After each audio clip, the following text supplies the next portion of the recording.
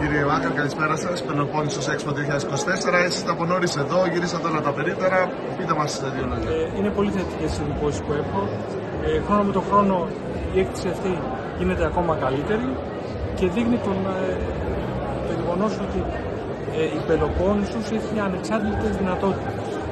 Και αυτός πρέπει να είναι ο σκοπός τέτοιων εκθέσεων, να δείχνει τις ανεξάρτητες δυνατότητες της περιοχής Εσείς έτσι με τους επιχειρηματίες που μιλήσατε, δεχτήκατε και κάποιους προβληματισμούς ε, θετικούς, αρνητικούς, οτιδήποτε; Ε, πρέπει να γίνει καλύτερο το επιχειρηματικό περιβάλλον, έτσι ώστε το επιχειρήν να γίνεται πιο εύκολο στην Πελοπόννησο.